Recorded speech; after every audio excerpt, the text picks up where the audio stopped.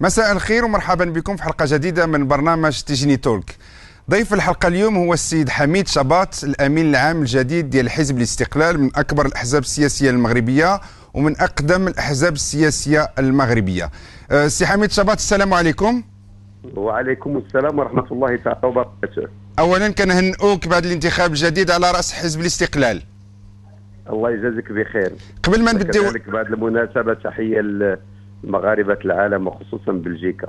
أه، شكرا السي شباط قبل ما نبداو هذا الحوار معكم أه، بضع ثواني غادي نشوفوا جوج ديال المقاطع ديال الفيديو. واحد أنتم والسي عبد الواحد الفاسي في الترشيح ديالكم في هذا المؤتمر الأخير. ومباشر بعد ذلك واحد التصريح أه، صغير ديالكم على الجو العام ديال هذه الانتخابات ونبداو هذا الحوار. ابقوا معنا. إن شاء الله. إن شاء الله. حميد شباب. عبد الواحد الفاسي تيقط 20000 درهم تيقط 10000 درهم. استعمل الواحد توصل البركة ديالو حتى هو والأمور مقسومه وغاديه وهذا هو الهدف. الصراع اليوم شنو هو؟ صراع ما بين الشعب اللي باغي يتحرر من هذه المعاملة والصراع ديال واحد العائلة اللي مسحوده حميد شباط شفنا جوج ديال المقاطع فيديو كانوا صورهم الزملاء ديالنا ديال هيسبريس بالمغرب موقع إلكتروني. سي حميد شباط واش كتعتبروا فعلا الفوز ديالكم؟ انتصار ديال واحد آه، الشعب على واحد الطبقة أو واحد العائلة اللي كانت كتحكم في حزب الاستقلال؟ والمنتصر الأول والأخير هي الديمقراطية داخل المؤتمر السادس عشر لحزب الاستقلال. حزب الاستقلال اللي يعتبر أول حزب في المغرب. الآن سيدخل من بعد 75 سنة غمار الديمقراطية الداخلية والتنافس على منصب الأمين العام الذي كان عادة بالتوافق. إذا اليوم العالم والعالم العربي بالأخص يعيش واحد الظروف نعلمها جميعا بما يصطلح عليه بالربيع العربي. إذا المغرب اختار طريق الإصلاحات السياسية وهذه الإصلاحات السياسية مع دستور فاتح يوليوز أي دستور جديد اللي تعطي للأحزاب السياسية تكوين المواطنين. ولهذا إحنا في حاجة اليوم إلى أحزاب سياسية قوية من أجل التنزيل الحقيقي للدستور. هذه الأحزاب السياسية القوية لا يمكن أن تكون قوية إلا عن طريق الديمقراطية الداخلية وإعطاء الكلمة للمنخرطين. ولهذا اليوم حزب الاستقلال عن طريق الديمقراطية سينتقل من حزب شخص أو حزب عائلة إلى حزب كل الشعب المغربي. إلى حزب وليدة الشعب الآن اللي صبحوا هم اللي تقروا في القيادة. لأن القيادة هي التي كانت تتحكم في القواعد. اليوم القواعد عن طريق صناديق الاقتراع تتعبر على رأيها وهي اللي تختار الأمين العام اللي غادي يقود لأربع سنوات ولاية بكاملها حزب الاستقلال. إذا اليوم يمكن لي نأكد على أن حزب الاستقلال دخل لنادي الأحزاب الديمقراطية المتواجدة في أوروبا وفي أمريكا وفي مختلف بقاع العالم الديمقراطي. إذا الديمقراطية هي التي انتصرت. حميد س- س- شبات أول تجربة في المغرب لترشح لمنصب قيادة حزب الاستقلال عن طريق برنامج. هذا البرنامج اللي هو مطبوع باللغتين اللغة العربية واللغة الأمازيغية. ولكن السي حميد شباط الا سمحتوا غادي نرجعوا للبرنامج ديالكم. حنا تبعنا الحملة الانتخابية اللي قدتوها. واللي واللي كان يعني كيرجع دائما وبالأساس وهو أنكم انتفضتوا أنتم وناس معكم داخل الحزب ضد هذا الحكم ديال العائلة كما كتسميوها أنتم. أه، دابا واش نعم، ما نعم. كتشوفش يعني هذه الانتخابات؟ يمكن غادي تشكل واحد الناس بداو كيتكلموا كيقول لك يمكن بداية انشقاق داخل حزب الاستقلال خاصة وأنه مباشره بعد الفوز ديالكم في هذه الانتخابات. هاد الناس المحسوبين على العائلة انسحبوا من التصويت ومن الانتخاب داخل اللجنة التنفيذية. لا ابدا لن يكون هناك انشقاق داخل حزب الاستقلال لأن الديمقراطية الداخلية هي التي قوت وتقوي حزب الاستقلال. بالعكس اليوم عند حزب الاستقلال طلبات من مختلف الأقاليم وأطر وكفاءات عالية في كل الميادين. اليوم تطلب الالتحاق بحزب الاستقلال بحكم أنه أصبح مفتوحا في وجه الجميع. اذا الباب التي كانت مغلقة الآن الفضل لبرنامج التغيير الذي حملته مع مجموعة من الإخوة الاستقلاليين. الآن هذا البرنامج فتح الباب أمام الأطر أمام الكفاءات لولوج عالم السياسة داخل حزب الاستقلال. وشنو هو السي حميد شباط الإخوان كاين الإخوان اللي يمكن شعروا وهذا الشيء راه كان في الروبورتاجات يمكن اللي شعر أنه ما يمكنلوش يحقق النتيجة أو أنه في غضب معين. انسحب من الترشيح للجنة التنفيذية. لا شاف حظوظه غير كافي ولكن ما انسحبوش من حزب الاستقلال. لا زالوا داخل حزب الاستقلال وهؤلاء فيهم وزير وفيهم آه، بعض الإخوة في الدواوين وتنعتبرهم واحد الموظفين في مناصب باسم حزب الاستقلال. إذا لا خوف على حزب الاستقلال. ولكن اسي حميد شباط والآن قيادة حزب الاستقلال اللي تم انتخابها وهي اللجنة التنفيذية لحزب الاستقلال اليوم كفاءات عالية غادي نرجعوا السيد الأمين العام إلى سمحتوا. السيد الأمين العام السيد الأمين العام. حميد سبات كأمين عام لحزب الاستقلال. السيد الأمين العام دابا هاد الناس اللي تكلمتوا عليهم يعني فيهم بعض الشخصيات الوازنة تكلمتوا على وزراء تكلمتوا السي عبد الواحد الفاسي يعني بنفسه. شنو هو المصير ديالهم والناس اللي محسوبين عليهم؟ دابا من رجعتوا أمين آه عام واش غادي تصفوا الحسابات؟ واش غادي تصفوا الحسابات ديالكم معاهم؟ لا لا ابدا مصيرهم داخل حزب الاستقلال. حميد سبات اليوم وفي أول كلمة من بعد ما أعلن سي عبد الواحد الفاسي أن حميد سبات فاز عن طريق الديمقراطية. بعد كلمات الأخ الأمين العام المنتهيه ولايته بتهنئه حميد سبات قلت صراحة أنني أمين عام لجميع الاستقلاليين. كل الاستقلاليين الذين صوتوا أو لم يصوتوا وحميد سبات سيتعامل مع الجميع بدون محسوبية بدون زبونية. الكفاءة هي الوسيلة الوحيدة للوصول إلى مناصب عن طريق حزب الاستقلال. إذا الكفاءة هي التي ستكون المعيار الحقيقي والإنصات إلى المواطنين وسياسة القرب من من الاستقلاليين ومن خلالهم إلشعب المغربي هي التي ستقود أي واحد منا إلى مراتب عليا داخل الحزب سيد الأمين العام سيد الأمين نعم. العام كان بعض الأخبار اللي كتقول بان الاسم ديال السي نزار بركة وزير المالية الحالي آه، في الحكومة الحالية كان أنتم كنتوا درجتوه داخل اللائحة ديالكم اللي كنتوا غادي تقدموها للجنة التنفيذية قبل ما ينسحب واش هذا الشيء صحيح ولا خطأ؟ نعم بطبيعة الحال إحنا الأخ نزار بركة تنعتبروه من الأطر الشابة اللي خصو يعتمد على الكفاءة ديالو سياسة القرب ويندمج مع الحركة النقابية مع الحركة الشبابية وينفتح واش واش درجتوا الاسم ديالو في اللائحة قبل ما ينسحب؟ لا من طبيعه الحال حنا كنت رشح سي نزار بركة غادي نصوتوا عليه. ماشي غنصوتوا عليه لأنه اسمه نزار بركة. نظرا للكفاءه اللي تيتمتع بها ولكن سي نزار بركة في ظرف غضب أو التزاماته العائليه أو ما إلى ذلك يمكن هي اللي جعلته أنه يسحب الترشيح ديالو.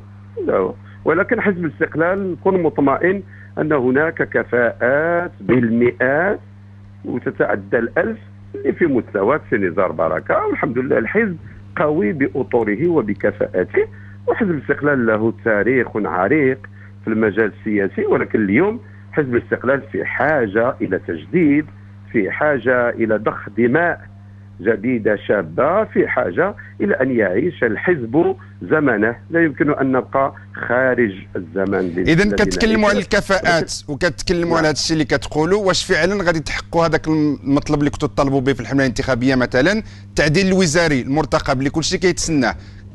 لا من طبيعة الحال التعديل الوزاري وارد ودائما الأحزاب السياسية المشاركة في الحكومة يكون عندها الحق لأن تلاحظوا إحنا ما عندناش ملاحظات كثيرة قدر ما عندنا تلاحظوا أنه كاين واحد البطء في التدبير الحكومي بطء في تنفيذ المشاريع بطء في, في, في, في تنفيذ البرنامج ديالنا الانتخابي. إذا الاستقلاليين اليوم مطلبهم هو تنفيذ البرنامج الاستقلالي اللي وزعناه اللي وعدنا به الناخبين ديالنا في 25 نوفمبر 2011 واللي الشعب المغربي اعطى الحزب الاستقلال المرتبة الثانية اذا هذه المرتبة الثانية بغينا نحافظوا إن شاء الله في الاستحقاقات المقبلة ونصبحوا نتصدر الاستحقاقات المقبلة. واش تحقيق؟ اذا تحقيق الاستحقاقات المقبلة بدون ما نحققوا واحد البرنامج اذا اذا سيد أمين عام اذا تحقيق نعم. البرنامج ديال حزب الاستقلال واش كتشوفوا؟ غادي يتحقق أكثر وبسرعة بعناصر جديدة اللي دابا برزت في الساحة السياسية ديال حزب الاستقلال من بعد الترشيح بعد الانتخاب ديالكم كأمين عام. لا غير العناصر الجديدة. اليوم القيادة فيها 50% دماء جديدة و50% الإخوان اللي كانوا وزراء أو كانوا في اللجنه التنفيذيه السابقة. هذا هذا الطاقم اليوم سيضم 15 19 نائب برلماني اليوم داخل اللجنه التنفيذيه يعني عندهم الشرعية الديمقراطية ديال الساكنة ديالهم. جاوبونا جاوبونا بصراحة السي حميد الطاقم واش غادي واش. فيهم شي ناس اللي يقدروا يرجعوا. وزراء؟ واش هاد الناس فيهم ناس اللي يقدروا يرجعوا وزراء المدى القريب؟ وعندنا هاد الطاقم اليوم القيادة فيه ستة الوزراء خمسة الوزراء سابقين ووزير في الحكومة الحالية. إذا القيادة ديال الحزب الاستقلال اليوم عبارة عن حكومة وغادي يشتغلوا في الهياكل ديالنا وفي التنظيمات ديالنا على أساس أننا حكومة. كل عضو داخل القيادة الحزب غادي يكون عنده ملف من الملفات الكبرى ولكن ما كتجاوبونيش يعني. مباشرة سي حميد شباط نعم. يعني ما- ما قلت ليش لا. لا عندنا الحمد لله حزب الاستقلال عندنا كفاءات لا الجديده ولا ال- ال- ال- الكفاءات القديمة. كلها قادرة باش تكون في منصب وزير. لأن هذا حزب الاستقلال تدرج وشارك في الحكومة السابقة وشارك في المعارضة منذ الاستقلال إلى اليوم يعني التعديل. الحكومي مشروع وارد عندكم. وارد اولا لأنه القضية ديال المرأة فيها واحد الحيف لأن امرأة واحدة داخل الحكومة من بعد ما كانت في الحكومة السابقة سبع نساء وأصبحت خمسة في التعديل واليوم واحدة هذا مطروح نقاش مطروح منذ تشكيل هذه الحكومة. ثانيا الأقاليم الجنوبية يجب أن تمثل. ثالثا أداء بعض الوزراء. من بعد مرور عشرة أشهر اذا هذا الأداء خصو اما اليوم مع القيادة الجديدة اللي غنحرصوا على تتبع الأداء ديال الوزراء وتتبع البرامج ديالهم عن قرب والاتصال ود- ودعمهم من طرف الفريقين البرلمانيين في الغرفة الأولى والثانية ويشعروا أن عندهم سند شعبي ويتحركوا باش يسرعوا بالوتيرة.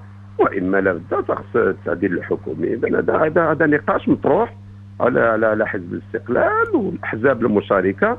واليوم في اللقاءات ديالنا التنسيقية ما بين الأحزاب الأربعة غادي يكون عندنا موقف واضح لأن انتظارات الشعب المغربي انتظارات قوية وكثيرة.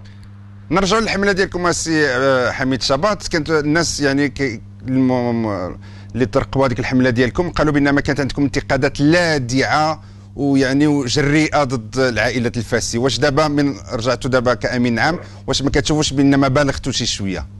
لا ابدا ما كاينش مبالغة وما كاينش انتق- انتقادات لاذعه أو ما إلى ذلك. حنا انتقدنا الوضع السياسي في المغرب والوضع ديالنا الداخلي لحزب الاستقلال. إذا كاين قانون الأحزاب الآن اللي المغرب تيتمتع به. خاصنا لا بد من نطبقوه. كاين دستور جديد ديال فاتح يوليوز لا بد من قوانين تنظيمية وفي اسرع الأوقات.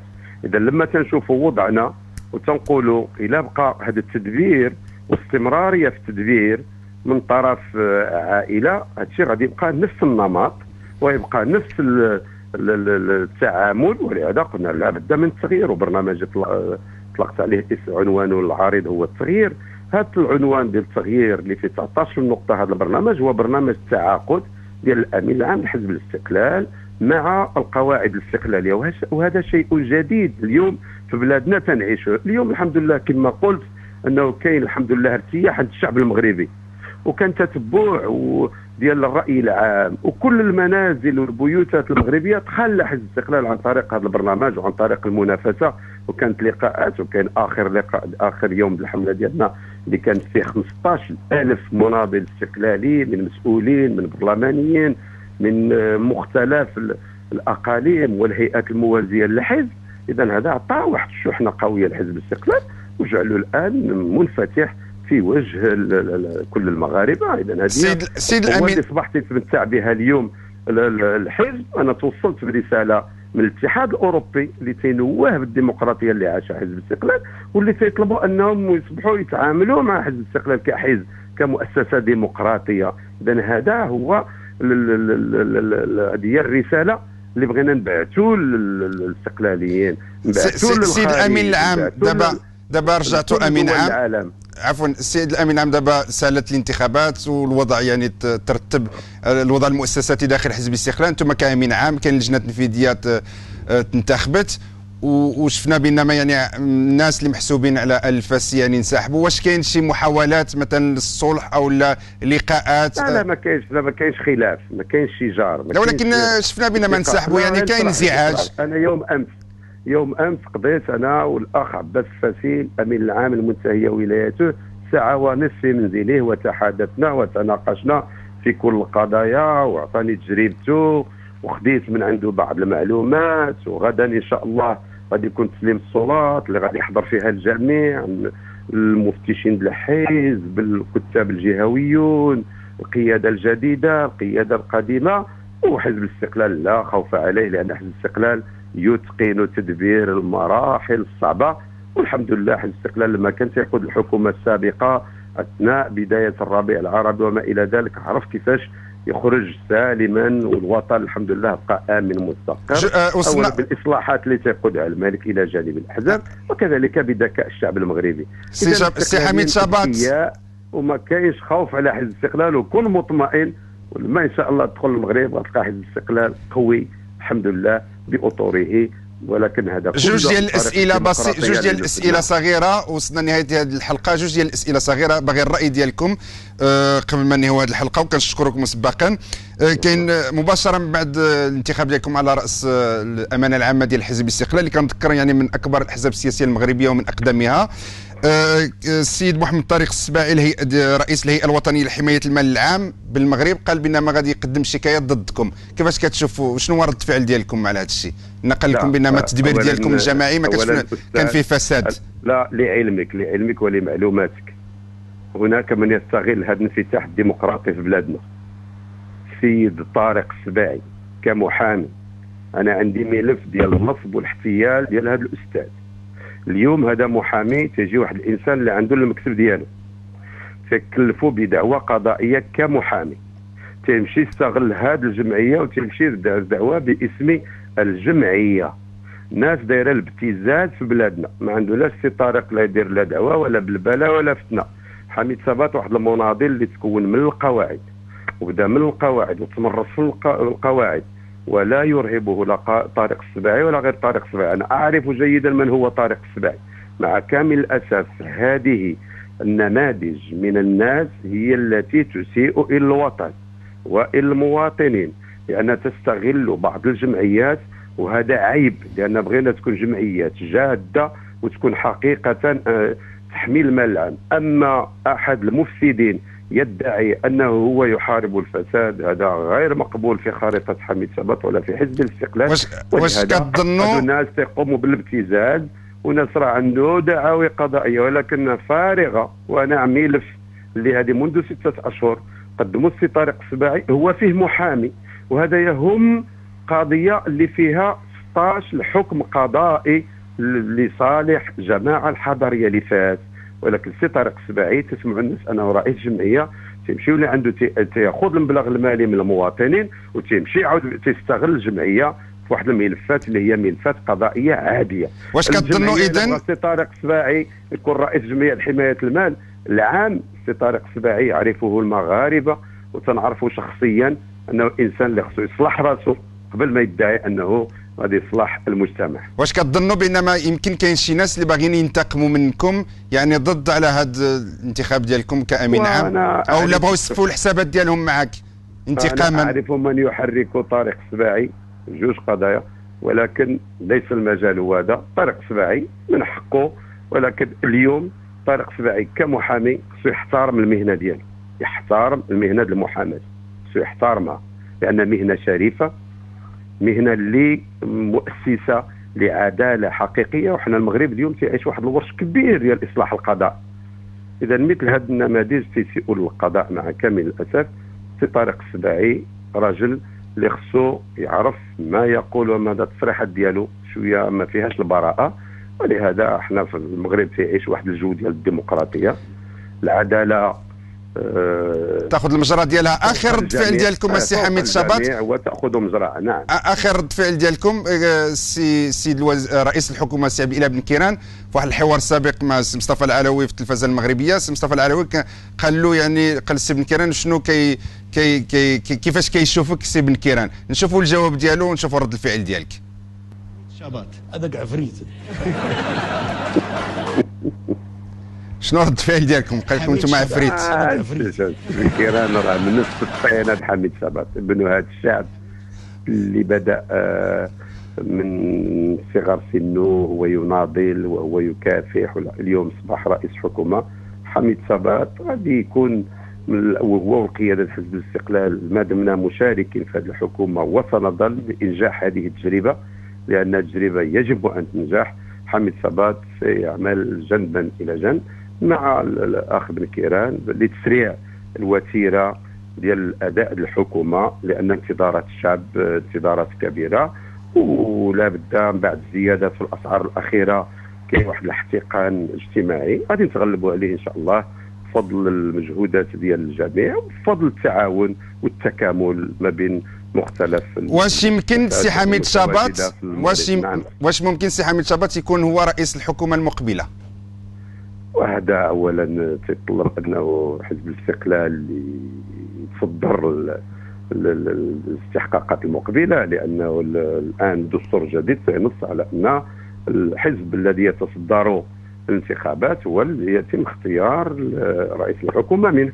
أنا تنقول وتنأكد للجميع انه حميد ثبات هو ابن هذا الشعب وسيظل كذلك. أنا دائما مناصبي التي تحملتها كانت عن طريق الانتخابات. وسأظل رجل ديال الانتخابات رجل ديال سياسة القرب رجل اللي ينصت إلى الجميع. ما يهم حزب الاستقلال هو أن يكون رئيس حكومة ملم بكل القضايا الوطنية. وحزب الاستقلال عنده من الكفاءات. الحمد لله اللي يمكن لا تكون آه، تترأس الحكومة المقبلة إن شاء الله شكرا سي حميد شابات.